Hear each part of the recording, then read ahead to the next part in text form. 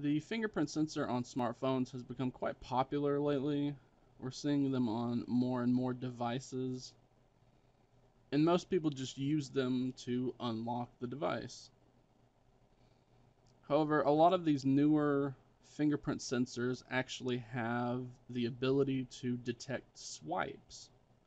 Whether you swipe up, down, left, or right on the fingerprint sensor.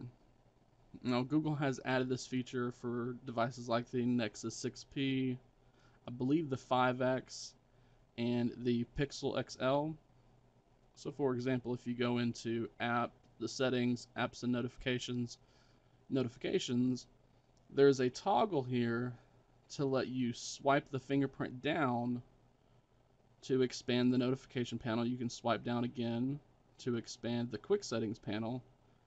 And you can swipe up when these are down to make those go away. Very simple gestures. Uh, Huawei had this on their phones for a while, and Google added it to a couple of theirs.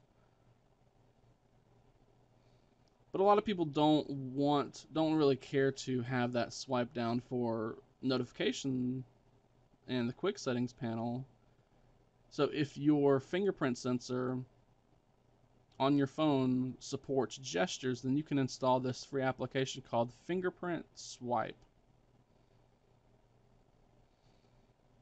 Like I said, it's just a free, simple application. Once you download it, go ahead and open it up. It needs to have accessibility permissions granted, so you're going to need to tap on this enabled toggle. And then just enable the fingerprint swipes toggle there and press back a couple times to go back to the application. And then from here, we can set up the actual swipe. So we tap on the fingerprint swipes option. And we have four options here for up, down, left, and right. So say we wanted to replicate what Google has. We can tap on down and we can choose the notifications down option.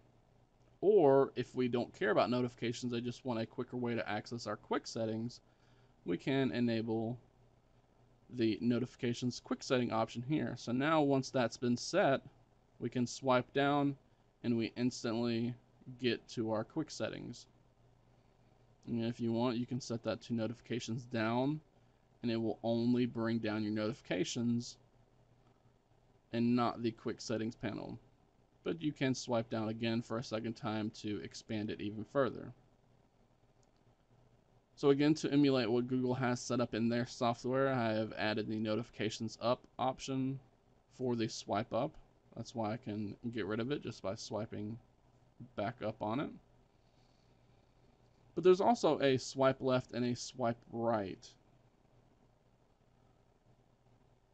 So you can tap on the swipe right option.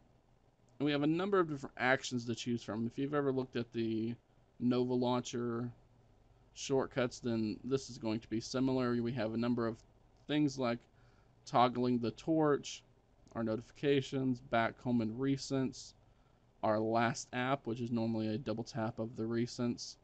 We can show the power dialog, toggle split screen, media controls, volume controls, and rotation lock, and even a tasker task.